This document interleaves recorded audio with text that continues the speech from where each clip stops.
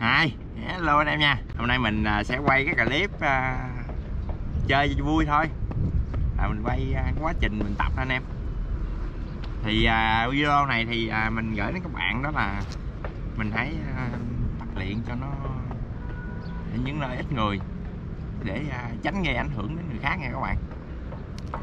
Thì cái đây khu này cái khu này là giờ chưa 12 giờ mà ai nắng.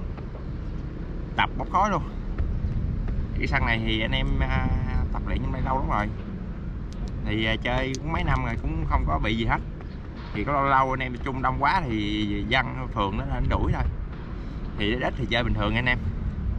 Thì hôm nay mình sẽ quay video đó là quay lại quá trình mình à, tập luyện chơi thôi. Thì hôm nay mình sẽ à, tập luyện cái kỹ năng à, wheelie vô chọn anh em. Trong wheelie á trong bốc đầu á bốc đầu mà ngồi á thì cái vô chọn thì rất là khó. Đến thì thời điểm hiện tại giờ thì mình mới có tập được, có tập chuẩn thôi.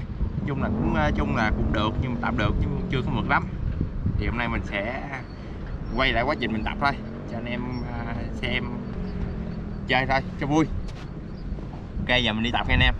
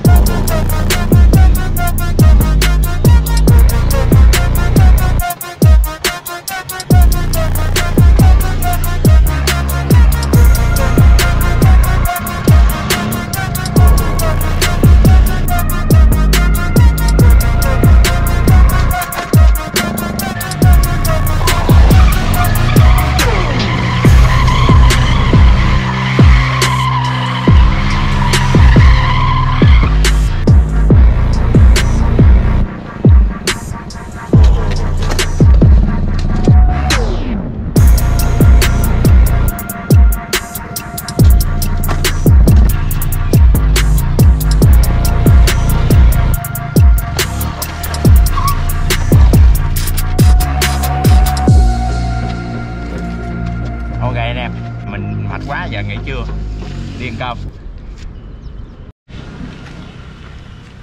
ok anh em nha. Bây giờ lên xe đi về. Thấy à, mình tập chuyên nghiệp không anh em? Chở xe ra xong rồi tập xong rồi chở xe về ha. Thấy đam mê không? Hai cái máy à, tập wheeling anh em. Chắp cánh nước mơ cho anh em. Đó anh em nào muốn tập mà à, bóc đầu thì liên hệ nha anh em. Đồ chơi à, full đồ chơi cho anh em à, tập luyện luôn. Đầu đường phê là đẹp đúng rồi. Đúng rồi tới chỗ mà bóc đít lên. À, em mua chiếc này em đi học mốt được ok bye bye anh em nha hẹn anh em vào những clip lần sau. Anh em nào mà đam mê bốc đầu mà sợ hư xe thì cứ liên hệ anh em mình à, tập luyện nha anh em.